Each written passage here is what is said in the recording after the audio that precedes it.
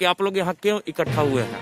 हम लोग corona virus को संक्रमित होते होने से देखते हुए देश के प्रति अपनी निस्वार्थ सेवा करना चाहता हूँ और हम लोग को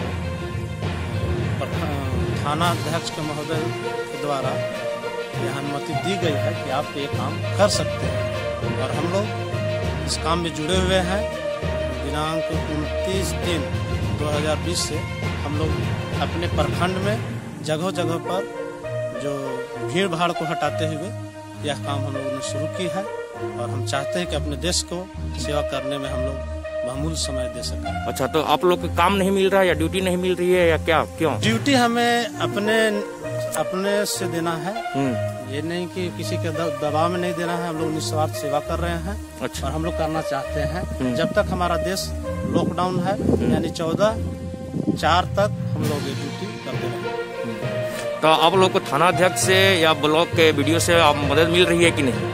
हमें आज लिखित प्रमाण हम लोग ब्लॉक के द्वारा ले लेंगे। प्रखंड विकास पदाधिकारी के यहाँ हम लोगों ने सूचना दी है और देने जा रहे हमें यह काम करने में किसी प्रकार का कोई दिक्कत न हो। अच्छा अच्छा। चलिए ठीक है। आपका क्या नाम है? मेरा नाम नरेंद्र कुमार हुआ। हम्म, मैं प्रखंड अध्यक्ष के पद पर हूँ। हाँ, यह काम एक सहमति से। कर रहे हैं।